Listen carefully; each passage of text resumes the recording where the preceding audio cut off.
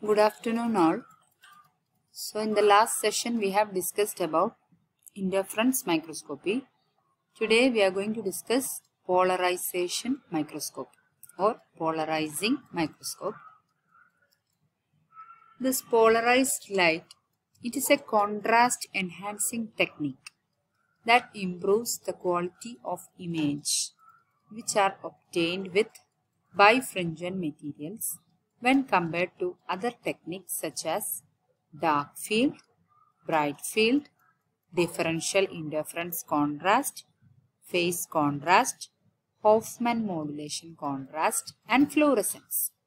So among these methods, polarized light is a contrast enhancing technique to observe bifringent materials.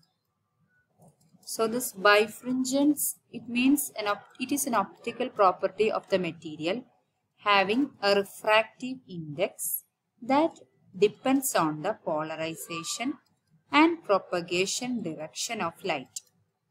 So these optically anisotropic materials are said to be bifringent. So bifringent it is optical property of materials having refractive index and that refractive index depend upon the polarization and propagation of direction of light. Now, the polarized light microscopes have a high degree of sensitivity and can be utilized for both quantitative and qualitative studies which are targeted at a wide range of anisotropic specimens.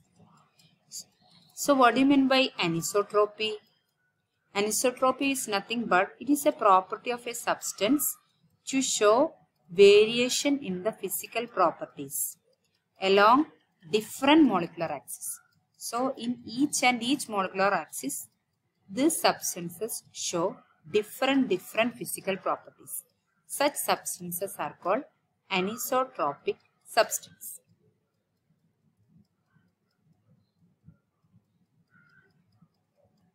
Next is the quality. So we have already discussed that polarizing microscope used for both qualitative and quantitative aspects of study. But among them, qualitative polarizing microscopy. It is very popular in practice with numerous volumes dedicated to the subject.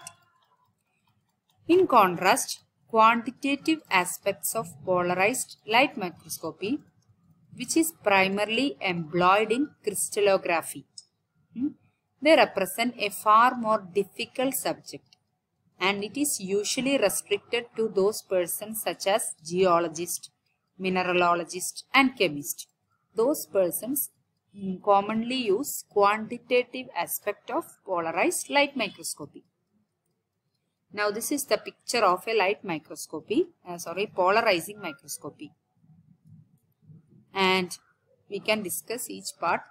The polarized light microscope, it is designed by to observe and photograph specimens that are visible primarily due to their optically anisotropic character. So, anisotropic character I have told in each molecular axis their physical properties get changed. And for observing such type of substances, polarizing microscope is used. So in order to accomplish this task, because in each molecular axis they show different properties. So uh, we, we can, how could we observe those substances through microscopy? So in order to accomplish this task, the microscope must be equipped with two types that is uh, light path which are positioned in their light path. That is those this microscope is equipped with both a polarizer polarizer which we can see in the bottom.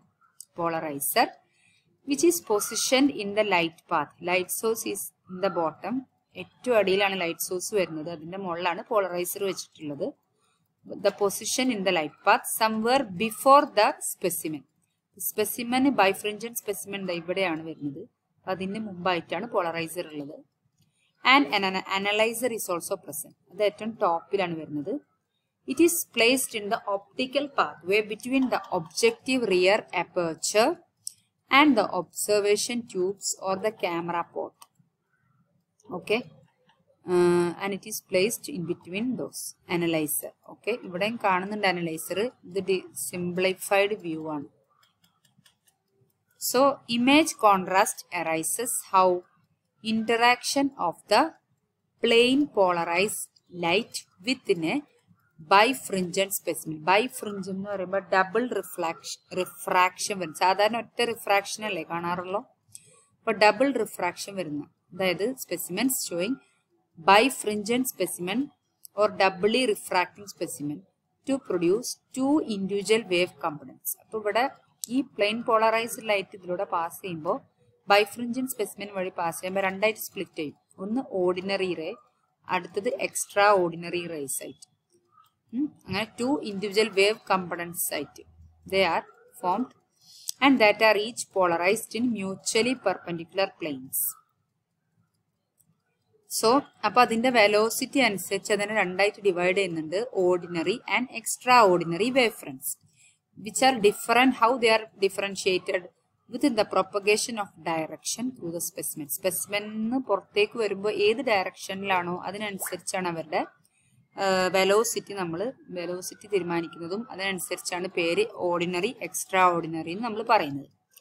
After exiting the specimen specimen പുറത്തേക്ക് വന്നു കഴിഞ്ഞാൽ the light components becomes out of phase but are recombined and how with constructive and destructive interference interference ഒക്കെ നമ്മൾ plus two ഫിസിക്സിൽ പഠിച്ചതാണെന്ന് തോന്നുന്നു അല്ലേ constructive and diff destructive interference so when they are passing through analyser അപ്പോൾ ഇത് already analyser വഴി pass ചെയ്യുമ്പോൾ now they are combined with both constructive and destructive interference and these concepts R outlined in for the wave front as A result A wave front field is generated by a hypothetical bifringent specimen.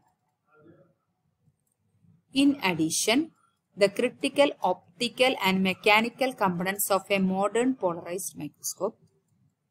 This is the critical and optical mechanical components that I am discussing.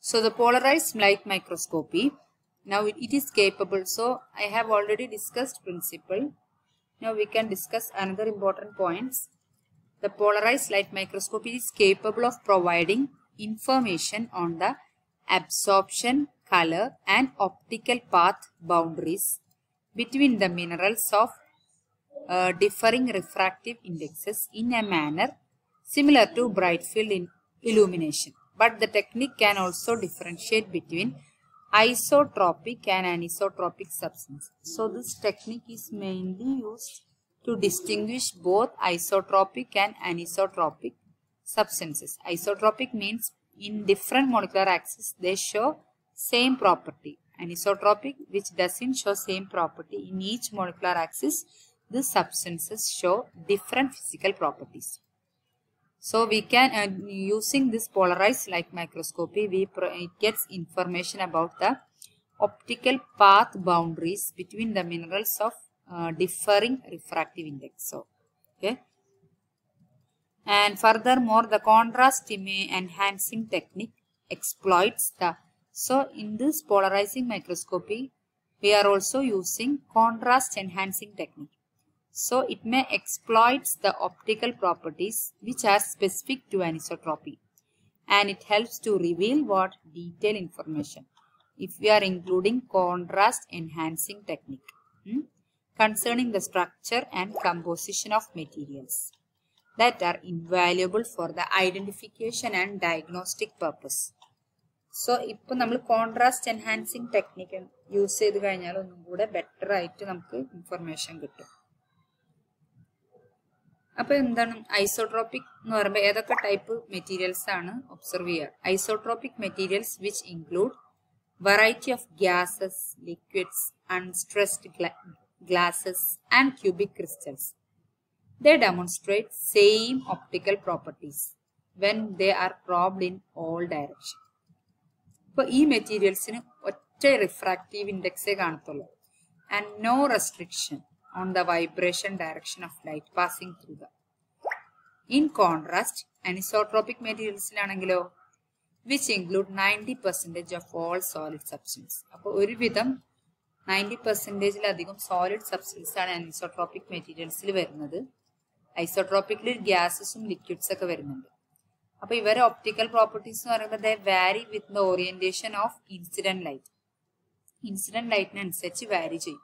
ഏത് molecular ആക്സിസിലാണോ അതിനനുസരിച്ച് പ്രോപ്പർട്ടീസും vary ചെയ്യും. Within the crystallographic axis so they demonstrate അവരും ഈ anisotropic സബ്സ്റ്റൻസും different റേഞ്ചിലുള്ള refractive index ആണ് എക്സിബിറ്റ് ചെയ്യുക. Depending on the propagation direction of light through the substance and on the vibration plain coordinates അപ്പോൾ more importantly അനിസോട്രോപ്പിക് materials ax as A beam splitters and divide light rays in to to orthogonal components അപ്പോൾ അതുകൊണ്ടാണല്ലോ അവിടെ രണ്ട് type components ആയിട്ട് split ചെയ്തത് The technique of polarizing microscopy exploits the interference of split light rays as they reunite along the same path to extract information about anisotropic materials.